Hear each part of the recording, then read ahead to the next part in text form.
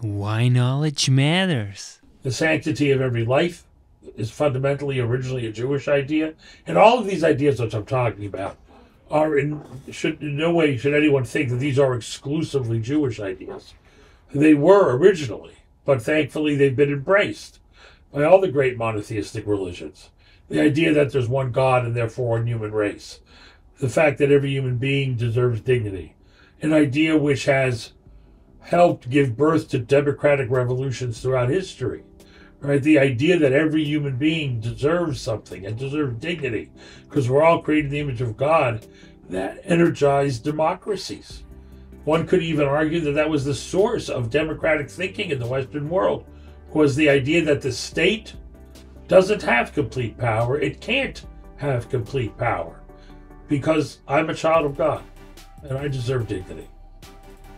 And I have rights. I have inalienable rights, as the Declaration of Independence put in the United States. I have rights. And, uh, you know, uh, this used to be a common idea. Uh, John F. Kennedy, the first Catholic president of the, of the United States, when he was inaugurated, one of the things he said was, The rights of man come not from the generosity of the state, but from the hand of God. That's what he said. And that was, it's not around, it shouldn't, it, it, today you don't hear that.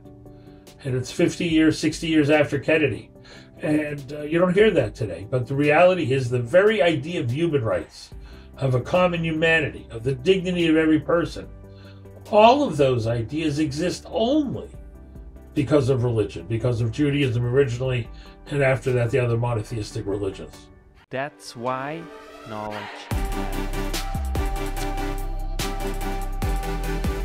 Make your life a masterpiece. Visit now programs.d-ykm.com.